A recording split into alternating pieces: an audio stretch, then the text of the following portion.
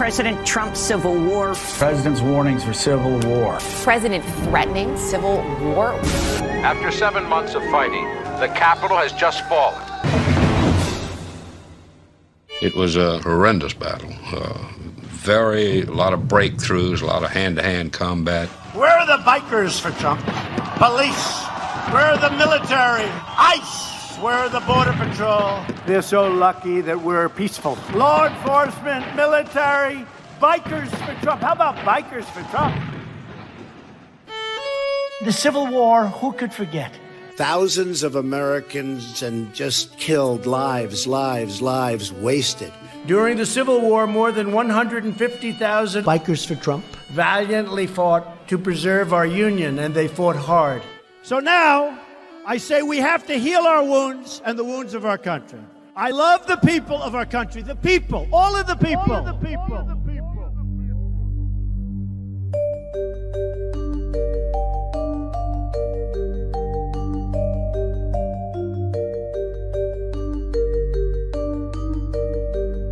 This is Intercepted.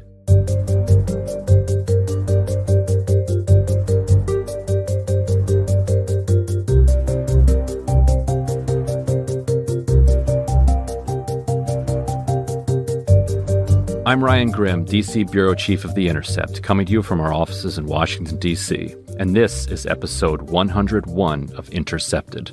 I'm sitting in for Jeremy Scahill, who will be back soon.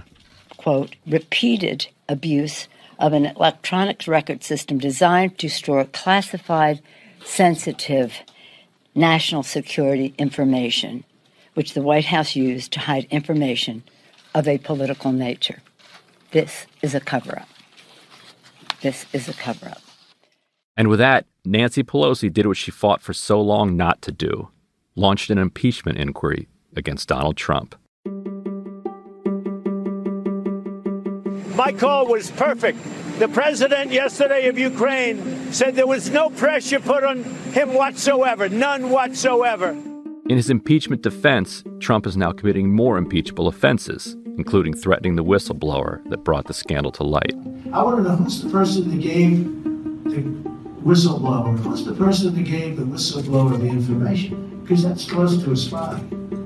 You know what we used to do in the old days when we were smart, right? With spies and treason. We used to handle it a little differently than we do now. And more details are emerging about the entire embattled Trump administration. Giuliani is facing a subpoena. We learned Mike Pompeo, Secretary of State, was listening in on the July phone call between Trump and Ukrainian President Zelensky.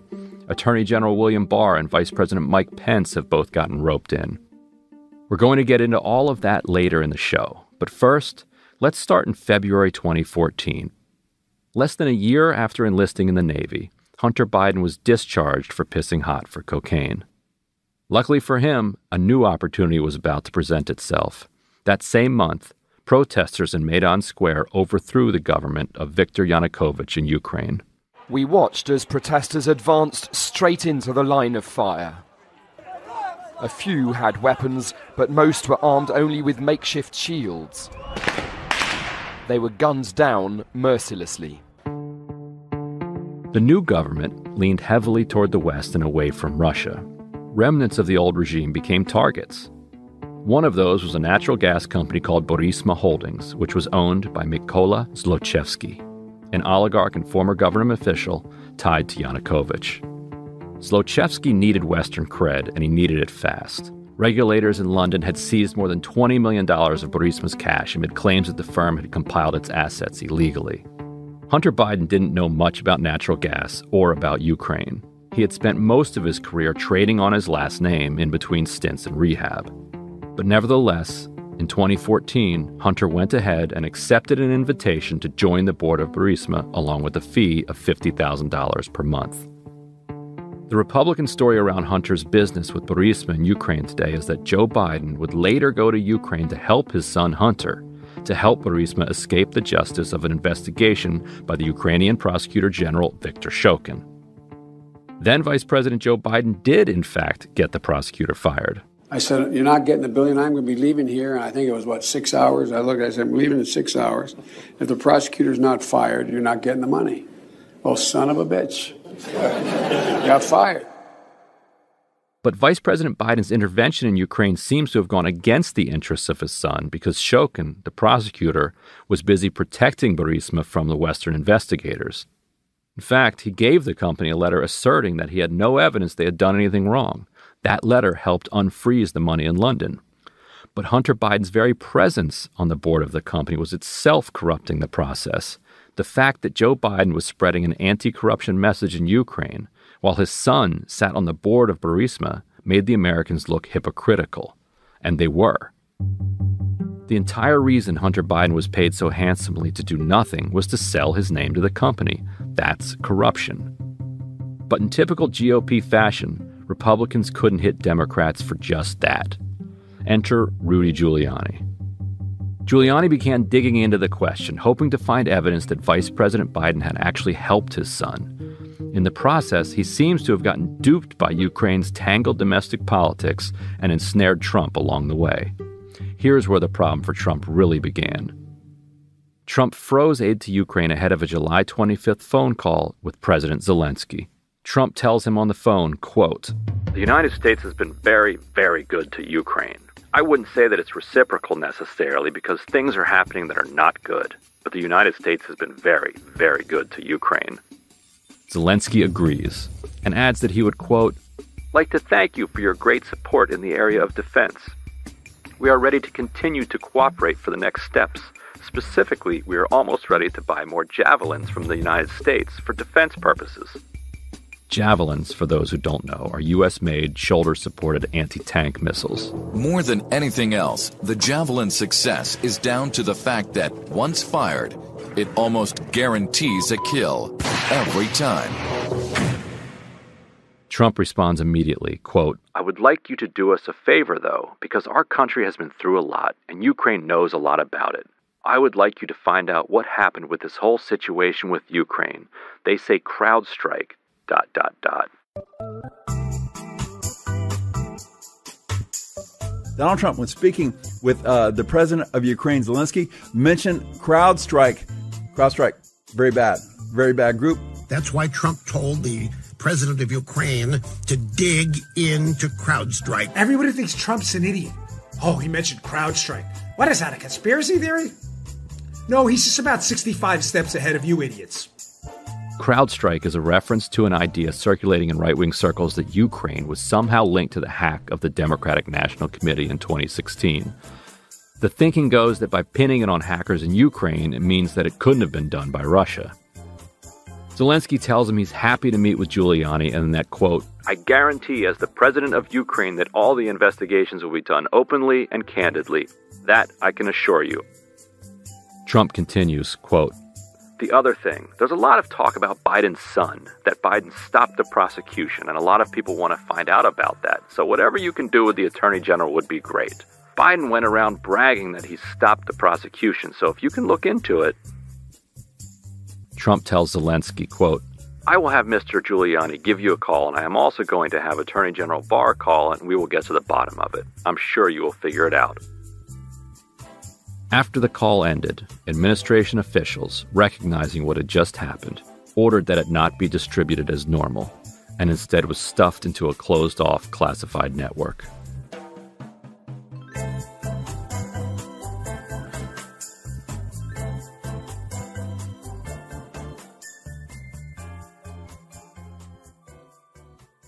We learned on Monday that Secretary of State Pompeo was listening in on the call, but we don't yet know who specifically ordered it buried. But we do know that he later opposed it being released. Word got around anyway, and a CIA official who learned of the call documented it in a whistleblower complaint. The White House tried to block the inspector general from sending the complaint to Congress, but pieces of it leaked out, pressure built, and it was ultimately released. Trump has spent the time since in a predictable meltdown, claiming publicly that he's trying to figure out who the whistleblower is, itself an arguably impeachable offense. Well, we're trying to find out about a whistleblower. When you have a whistleblower that reports things that were incorrect, as you know. He also asked the NRA to fund his impeachment defense. The NRA told him he had to drop his gun control efforts. Again, another arguably impeachable offense to stack on the pile.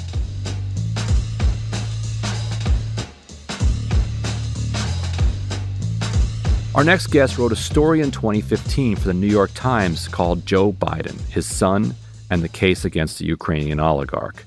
It was the story that sparked a right wing obsession with the fact that Hunter Biden was in Ukraine and that it was politically very bad for Joe Biden.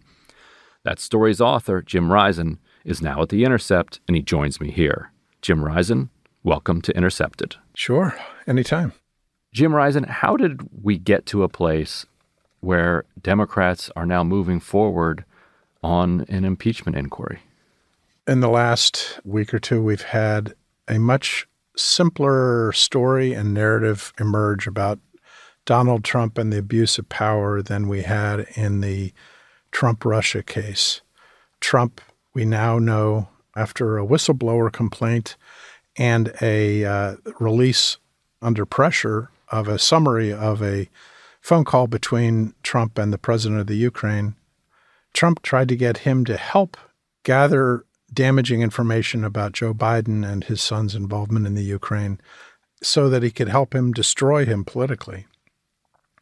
A whistleblower inside the White House from the intelligence community reported on this, complained about it, said that it was an effort by Trump to get foreign help in the 2020 election, which is against the law. And leaks about the existence of the whistleblower complaint began to happen in the press after the White House and uh, other aspects of the government were trying to suppress information about the case. And finally, the pressure grew from Congress and from the press to such a degree that Trump was forced to release the whistleblower complaint and a summary of the phone call. Uh, House Speaker Nancy Pelosi decided to begin formal impeachment proceedings. What she saw is the same thing a lot of people saw, which was this was a fairly simple narrative, fairly cut and dried story about the president abusing his power to try to get reelected. So 2015 is when the New York Times, uh, in the form of Jim Risen, first wrote about this Hunter Biden Joe Biden right. uh, conflict, and at the time, the piece that you wrote that was kind of the main thrust of it, right? Here's Yeah. here's Joe Biden going to Ukraine. He's going to crack down on corruption, but complicating factor a little bit is that his boy Hunter Right. Biden is serving Right. on a natural gas company in Ukraine, which goes without saying is Right. corrupt. Right. And so, did the story kind of fade from there?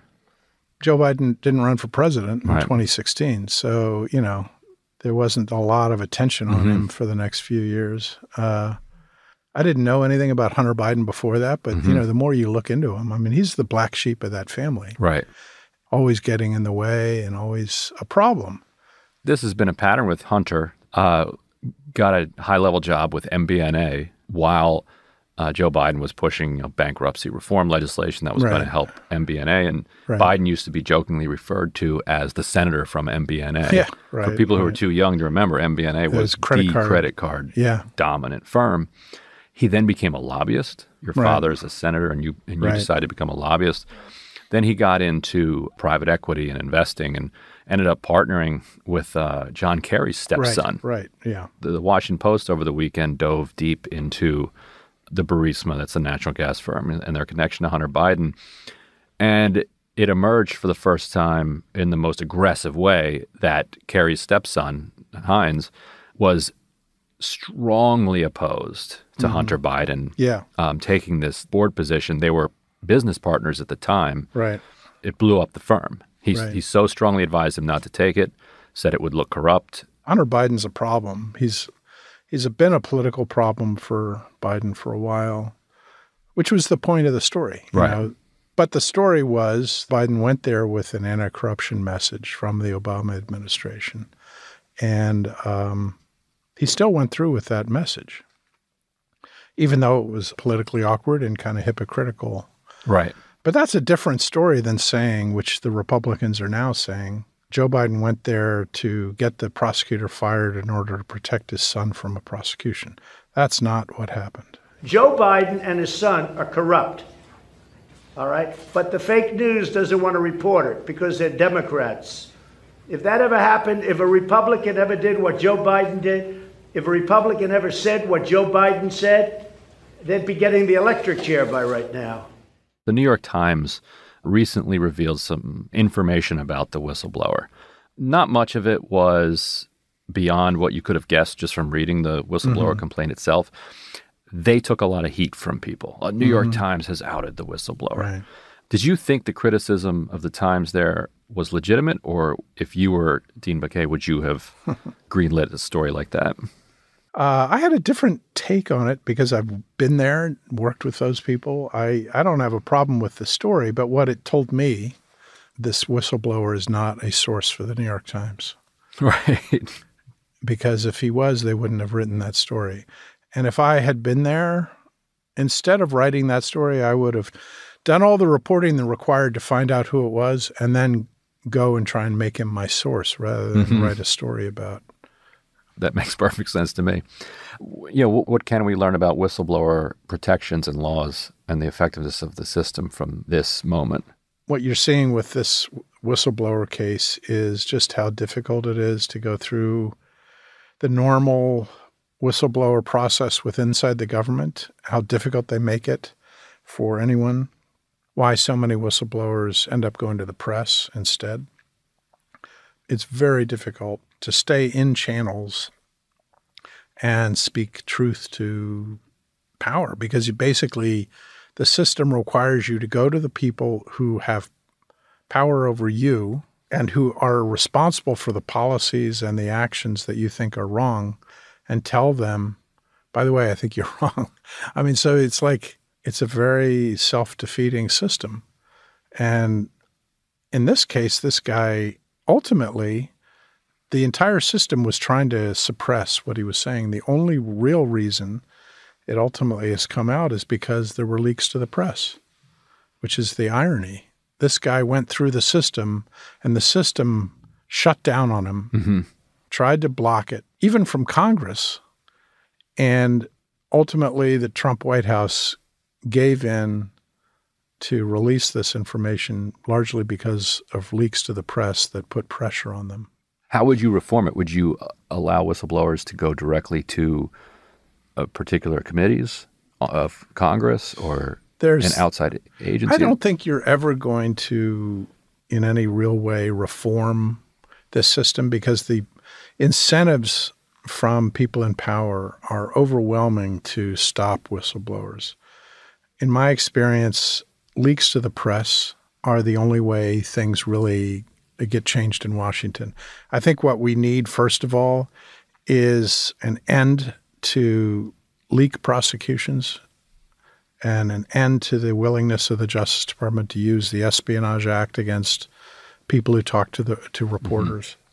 I think that's the first thing. We need a federal shield law, and we need an end to prosecutions of uh, people who talk to the press, and we got to stop treating them like spies. That's one of the things I thought was ironic and hypocritical among some Democrats who got all upset that Trump said this whistleblower is like a spy when the Obama administration and everyone has prosecuted whistleblowers under the Espionage Act, which by definition means they're treating them like spies. What do you make of the Democrats' kind of rapid move over the last week from uninterested in impeaching Trump, or Democratic leadership at least, uninterested in impeaching Trump, to full bore, we're, we're impeaching Trump? Do you think that this was necessary or should have been necessary? Yeah, I mean, I do in a way because it's as if Trump got off on a technicality on Mueller and Russia. He escaped, you know, a two-year investigation, and then he immediately starts doing it again with a different country. I just think that at some point you've got to stand up for the rule of law in this country, and so I think that's ultimately was the dynamic that I know there were a lot of political pressures as well, but I think I do think Pelosi realized this is such an open and shut case. It's so simple to understand that if you say, "Okay, I'm not going to do anything about this," then what else are you ever going to do anything about? This is such a in-your-face thing by Trump that if you don't stand up against him now, he will rightly believe I can do anything I feel like. Now, I want to bring in two people who have done a decent amount of work in Ukraine who can provide some further insights into the politics of the country. We're joined now by Ed Baumgartner. He's a, a co founder of a business intelligence company called Edward Austin, which is based in London. Is famous for having done a little bit of work with Fusion GPS back in 2016, but does a lot of other work in the region. And also here with Christopher Harrison, former Bush administration official, who is uh, now also a private financial consultant who specializes in Ukraine and a bunch of other places. Christopher, thanks for joining us. Thank you for having me. Ed, thanks for joining us. It's a pleasure to be here. So, Ed, how does somebody like Hunter Biden kind of wind up in Ukraine? What had to happen to make that possible? Well, I'd have to say that that Hunter showing up in Ukraine as a director is is not particularly uncommon. So if you go to Russia since the mid 1990s, you know Westerners are often recruited as directors because they can open doors often if you want to say bring your company to uh, a stock exchange or something like that, having a Western consultant who has a famous name is very useful. And so the Maidan Square protests kind of end with the ousting of the Yanukovych government in February 2014.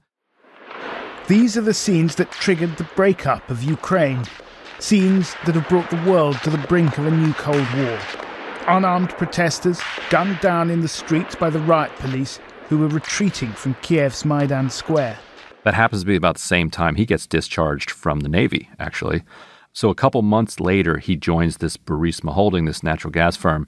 So, Christopher, how does Joe Biden fit into this? Why does he famously want this prosecutor fired? There was a lot of pressure on the Obama administration to support the new government in Ukraine. And one of the biggest problems in Ukraine was corruption. And Biden was actually following the responsible path here and pushing on the general prosecutor to get rid of some of these corrupt officials. And one of the things, for example, that I know the Obama administration was pushing for, and Biden specifically, was for the general prosecutor to prosecute the uh, Ukrainian soldiers who had murdered Ukrainian protesters on the Maidan Square during the protests, but also other corrupt senior figures. Ed, Rudy Giuliani has been the lead character in this affair. Joe Biden had the prosecutor general mm-hmm. dismissed. And then well, the case against his son was dropped. Let me ask now, you about that, this because there are questions. That, how about the five million from one of the most crooked people in the Ukraine? While Joe is doling out the money to the Ukraine. And then Joe bribes the uh, president of the Ukraine. So, House Democrats have subpoenaed Giuliani for his Ukraine files. What do you think they're looking for? Certainly if I were them, and, and I know some of the investigators over there, and they're very good, is in 2017, he went to the, the eastern city of Kharkiv and he signed a contract. This was overt to, to provide security for the city there. That contract always confused Ukrainian analysts and, and Western analysts as, as to why they would hire an impoverished city would hire, you know, Giuliani of all people to provide in, in quote security and the mayor of that city was a known affiliate of a very well known oligarch, Igor Kolomoisky. So I think they would be looking for that dealing, first of all. I think it's really the, the bottom line for investigators is where is the money coming from? Has he declared it? And did he violate FARA or did he violate more serious laws than that? Look, if, if, if Rudy was poking around Ukraine, he was up to no good. I mean, the, because it was Ukraine. And Ed, Michael Cohen also has a bunch of bizarre connections to Ukraine, Ukrainian officials, doesn't he? Uh, oh yeah, um, I have to say that in certain undisclosed part of my life, I did look a lot into that. He was involved. You remember there was that strange peace deal that was floated by this uh, politician called Andrei Artemenko, who was this fellow who was a nationalist, but then suddenly floated went came to New York and floated this weird peace deal where by which basically Russia would get to keep everything it has, but they would just lease it, which obviously the Ukrainians weren't very excited about. Cohen's brother's father-in-law was uh, Artemenko's like sort of business associate. As far as we know, and he's never said Cohen's never been to Russia, but he has been to Ukraine. He tried to get involved in some weird scheme during the mid 2000s, right around the time he started working for Trump, maybe a little before, something to do with ethanol. There was some weird ethanol project uh, in, in Ukraine, which he tried to do, which which then again sort of blew up in his face. So those are the ones that we know about. There could be more. When you talk about undisclosed research, the New York Post has uh, linked you up with work on the Steele dossier, but I don't take the New York Post's opinion section as gospel. What kind of undisclosed research are you talking about there?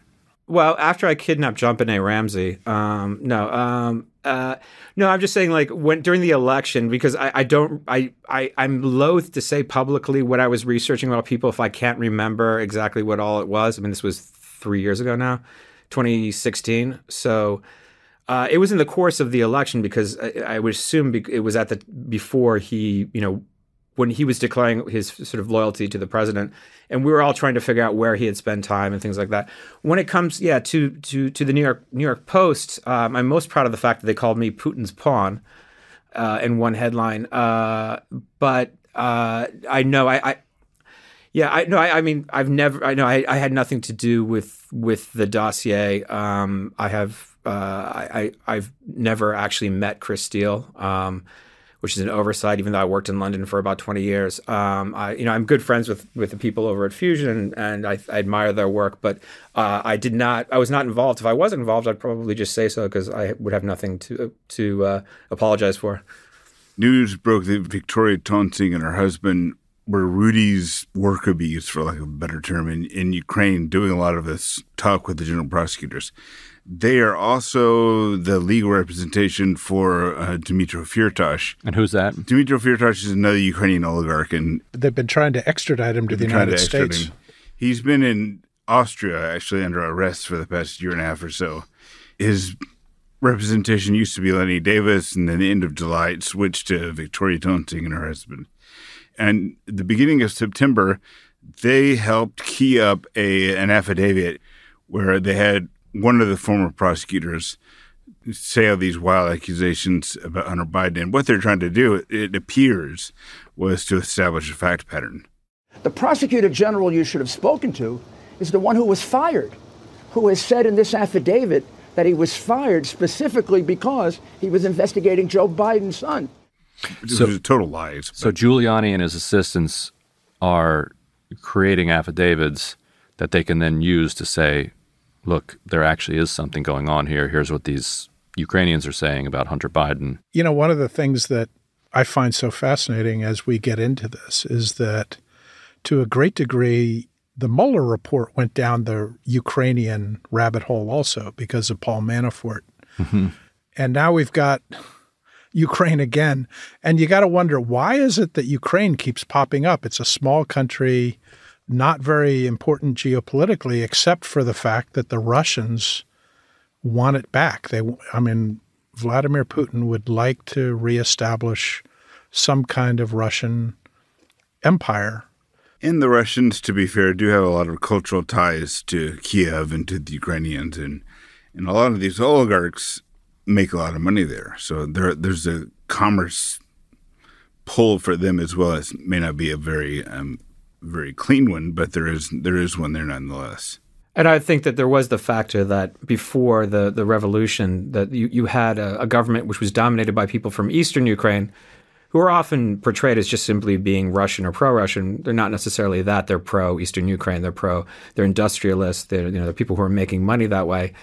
And there were people that Manafort was doing business with. So I think the difference between Manafort and Giuliani, for instance, is that Manafort was doing business with essentially the existing regime whereas Giuliani is kind of flying in in a post-revolutionary situation and essentially trying to fix up the past. You know, he's trying to create something that didn't necessarily happen and create a paper trail for it, which you know is is, is a completely sort of you know different uh, different kettle of fish.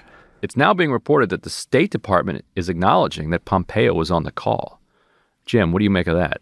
Well, you know that Pompeo has become like the only national security person that Trump trusts. He's the entire establishment. He's the entire, yeah, he is it. I mean, he doesn't trust anybody else because Pompeo has become such an enabler.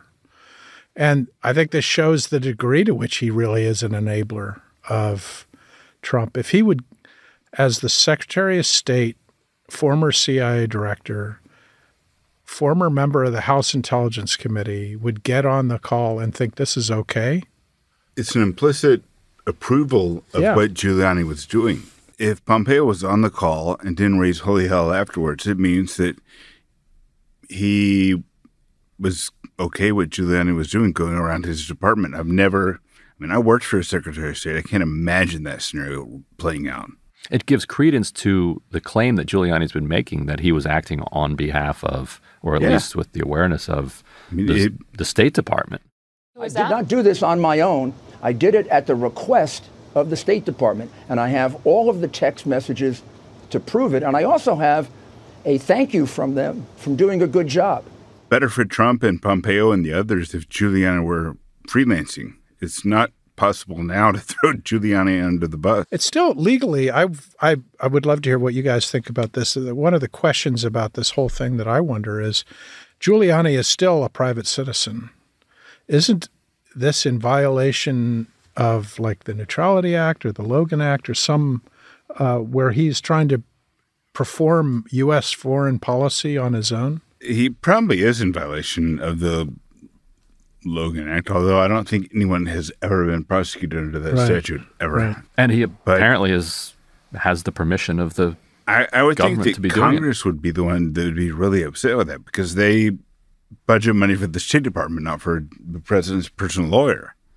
And if the personal lawyer is performing the role of the State Department, I don't. Know. Well, the interesting sure thing is then if, if privilege applies. Giuliani does all these things and then says, I have attorney client privilege Right. to reform American foreign policy. yeah, or, or executive privilege, or- Right. which Right. the State Department cannot claim to have.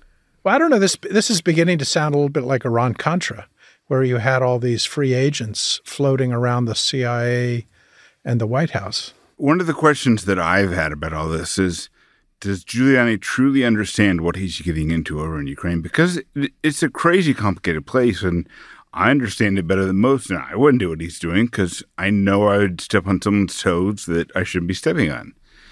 But if he's doing this in concert with at least Pompeo and probably more people from the State Department, I mean, it means there's some actual thought behind this, which is actually, I think, worse than Giuliani freelancing. You've got to believe now if Pompeo was there, if Giuliani was working in concert with the State Department and the White House, there's got to be so many memos and documents floating around or text messages and some. I mean, the There's paper trail something. has got to be much bigger than we thought. Yeah. You can't coordinate this level of stuff with no paper whatsoever. Somebody has to have written something somewhere. I mean, I think there was a good Politico story recently about how Trump has finally gotten the organization he had when he was at the Trump organization, which is nobody except him, or in one or two people who are total lackeys, and that he runs everything by the seat of his pants. And, you know, he had one or two people at the Trump organization that he trusted, and that was it. And now he's got a very similar structure with Pompeo is one guy. He got rid of the Secretary of Defense, the sec- other Secretary of State, National Security Advisors, CIA Director. You know, he's it's just it's just him and Pompeo. It's interesting that he's gone back to that formula that he's comfortable with. He went through four bankruptcies, and so this is one of his political bankruptcies, I guess. One of the things that's really baffled me about this is in what what galactic brain in the White House looked at that memo and said, "Hey, well, let's release this to the public." What moron thought that was a good idea? And well, if Pompeo was on that call, why didn't he say, "Hey, guys, no, do not release this transcript"? people did right after the call say this needs to be locked up. This can't get out. So Pompeo actually didn't want the transcript, the summary released. We don't release transcripts very often. It's the it's the rare case. Those are private conversations between world leaders, and it wouldn't be appropriate to do so except in in the most extreme circumstances. There's there's there's no there's no evidence that that would be appropriate here at this point. It was McConnell that was kind of pushing to override him. Well, I think they were under enormous political pressure to do it from the right. House. They, they certainly were. But I think now a key question for Pompeo was okay, now we know that you were listening in on this call. Right. We also know that senior officials who heard the call knew that there was something wrong in it and wanted it put under lock and key. Right. Were you one of those guys? Right, right. And right. I think the answer to that is Oh, this probably is predictable. wow. The last thing I would add from my side is just we also just give some some thought to how destabilizing this kind of antics, Giuliani's antics, are for Ukraine itself, and you know Ukraine's political stability. The position that the Ukrainian president was put in to have that conversation leaked, uh, and then of course played in his own domestic media. You know, he's a highly able politician who's still very popular, but you know the country has huge structural problems, and it and it has you know uh, a foreign army occupying, well, sorry, rebels paid by the Russians occupying, you know, the southeastern part of the country. If this scandal turns into you know more you know these these corrupt prosecutors and other people coming out of the woodwork. I mean, it's it's going to be you know it's going to be destabilizing, and uh, you know Ukraine being destabilized is not going to help us, and that leads me to really want to know what conversations Trump has had with Putin and whether he raised this about the military aid with Putin in a call. Ed, appreciate your time. Anytime. Christopher, thank you for joining us here on Intercepted. Thank you for having me. Jim, always a pleasure to have you here. Thanks. Jim Risen is the Intercept senior national security correspondent. Ed Baumgartner is a researcher on Ukraine and Russia and is co founder of Edward Austin, a business intelligence firm. Christopher Harrison is a private financial consultant specializing in the Ukraine and other places and a former Defense and State Department advisor during the George W. Bush administration.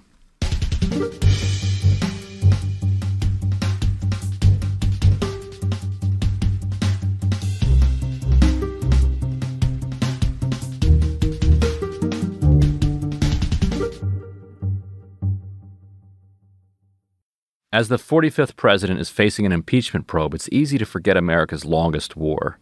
I'm talking about Afghanistan, where Donald Trump recently backed out of peace talks and has escalated violence.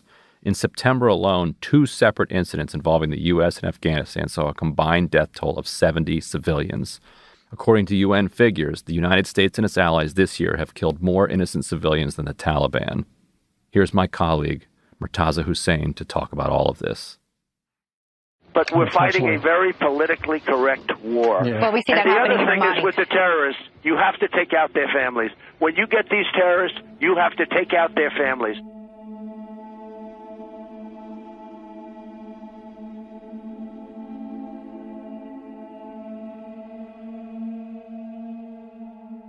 During Donald Trump's election campaign, he made very explicit promises that if he were to come to power, he would use the U.S. military to deliberately inflict civilian casualties uh, in foreign theaters. It's interesting because what Donald Trump is accused to have done in relation to the Ukraine and Hunter Biden is very serious, and it, it should be scrutinized. It's a potentially grave transgression against American democracy. The issue is that indirectly or directly, Trump is responsible for killing innocent people. He's responsible for exacerbating the brutality of America's wars.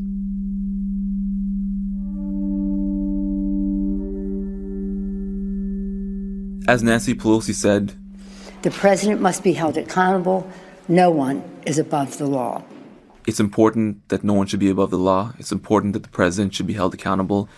But we need to look at the full scope of the president's activities. There are a lot of things to be held accountable for.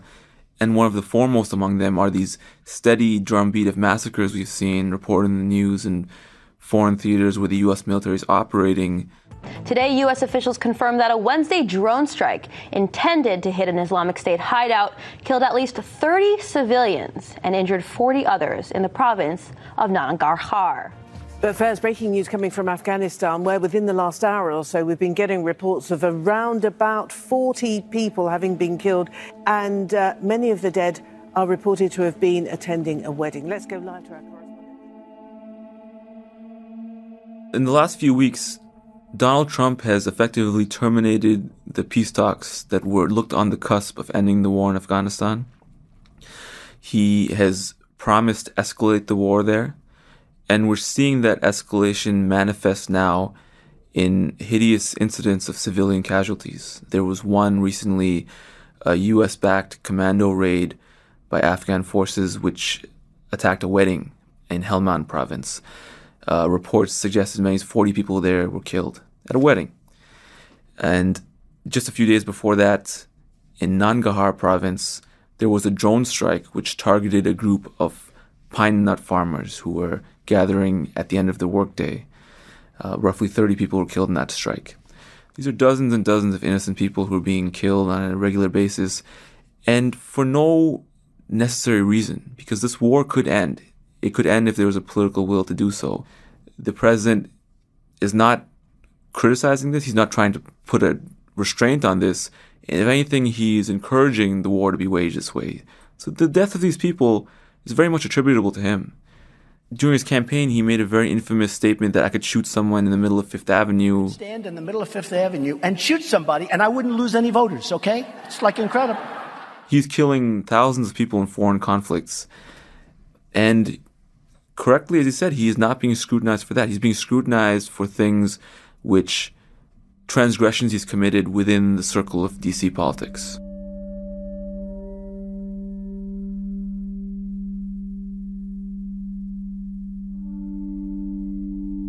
Historically, there was a thesis that fascism is partly a function of foreign conflicts migrating home or some of the attitudes of foreign conflicts coming home.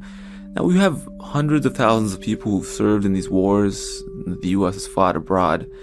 Certain attitudes have developed. Uh, you could call them racially pessimistic attitudes, which have grown in the United States over the last several years. It's a function of a coarsening society, in my opinion. And if we've gotten used to killing people in large numbers in Iraq, you know, things which were unfathomable at some point in the past have become sort of normal part of doing business. We could get used to horrible things happening in the United States on that scale at some point. You know, it may sound hyperbolic to describe Donald Trump as a murderer, but if you look at his statements objectively, he promised to kill innocent people. He's presided over an administration which has killed innocent people at escalating rates.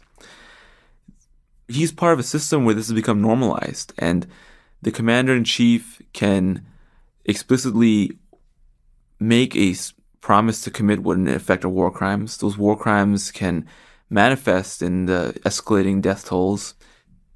But we've gotten so used to this as being something that's normal that we've bureaucratized killing. And if you look at historical examples of other countries which have killed in huge numbers, hundreds of thousands, millions of people, either in foreign conflicts or domestically, this bureaucratization allows people to morally distance themselves from it.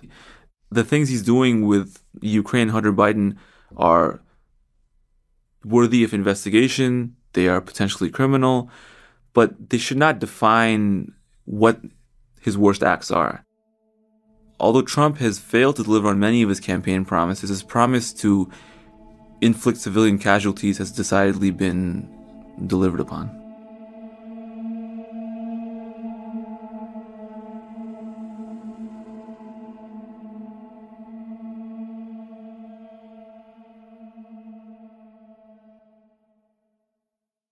Murtaza Hussain is a reporter at The Intercept. He spoke with our associate producer, Elise Swain. Go to theintercept.com to read his latest article, out today.